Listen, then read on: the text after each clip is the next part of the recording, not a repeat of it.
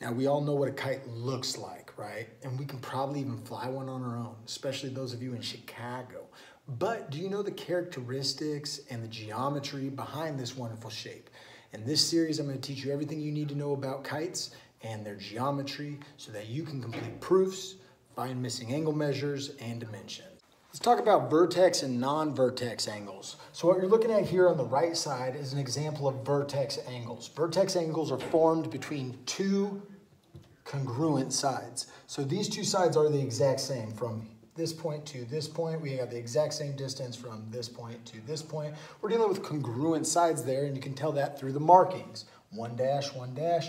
Here we got two and two, meaning this side is congruent with this side. Okay, vertex angles are formed when they are in between two congruent sides. So this side and this side form that angle, making it a vertex angle.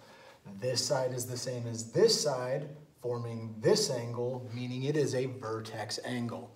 Okay, our non-vertex angles are the angles that are formed from two sides that are different. We've got the one marking up here, two markings here, telling me that this side and this side are not the same. They are not congruent. So what they are going to form are these angles here and here, which we call non-vertex angles. Take a second and think, is there anything you might know about some non-vertex angles when dealing with a kite? I bet you can figure out exactly what I'm about to tell you.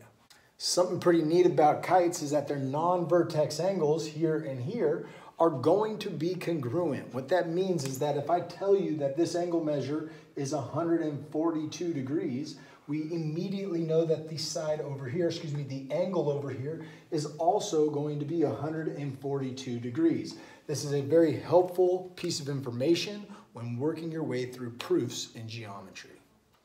Another important characteristic of a kite is if we were to draw a diagonal through our vertex angles, we've got a vertex angle here and a vertex angle here. Remember that comes from two congruent sides. These two sides being the same, create this vertex angle. These two sides being the same, create this vertex angle. And if I draw a diagonal through those two vertex angles, it acts as an angle bisector for each one.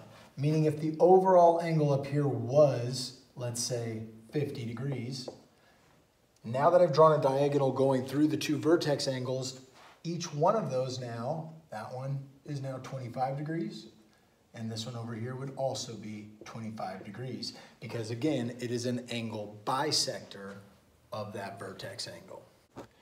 The kite diagonal theorem states that when we draw two diagonals of the kite, so we've got our first diagonal already drawn here going through the vertex angles, and then our two non-vertex angles, we're gonna draw a diagonal going across that way. What this is going to form is perpendicular angles here in the center. We're gonna have 90 degrees here, here, here, and here. We now have perpendicular lines creating 90 degree angles. And the last thing I want to show you about kites is that we actually form two isosceles triangles when we do these diagonals, right? If I were to just kind of bold this out for you real quick, I'm going to redraw this triangle that I'm showing right over here. We know this is an isosceles triangle because one thing we already know is that these are congruent and this one is not going to be over here. It could be, but in this case it's not. Um, now up here, what do we have? We've got a triangle as well up here, which is also going to be an isosceles triangle because we've got matching sides there. Those sides are congruent with a third side that is not. Now with all of that information and some prerequisite skills that you should probably already have, you're gonna be able to answer proofs, complete proofs, answer questions about missing sides, and I'm gonna make some videos for you guys to show you how to do that here in this series. Hopefully this is helpful, study hard, and good luck on your upcoming test.